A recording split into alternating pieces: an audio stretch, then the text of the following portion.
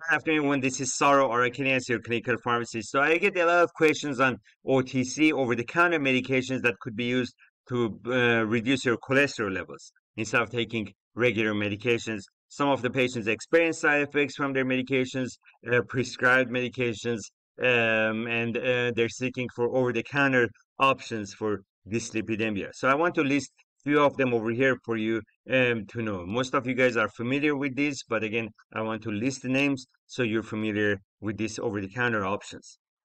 A niacin, vitamin B3, which lowers the LDL cholesterol and triglycerides, um, also increases the HDL levels.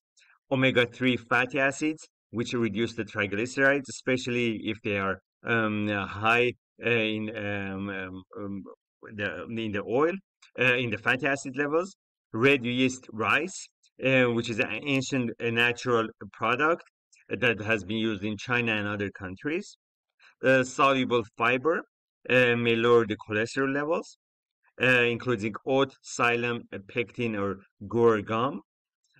green tea or green tea extract, which again can reduce the LDL cholesterol, uh, but also also may cause nausea, vomiting, gas, or diarrhea for some of the patients uh, and also plant sterols and um, stanols and sterols, uh, which reduces the cholesterol levels, especially in people with familiar hypercholesterolemia.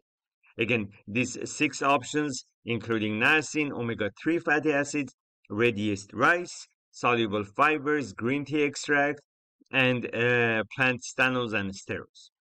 Uh, for more detailed information on any of these, make sure to comment on the video like the video and subscribe to the channel, but definitely comment on the video uh, with your questions, and I'll be happy to explain more in details about the specific um, uh, number of these medications that you have questions.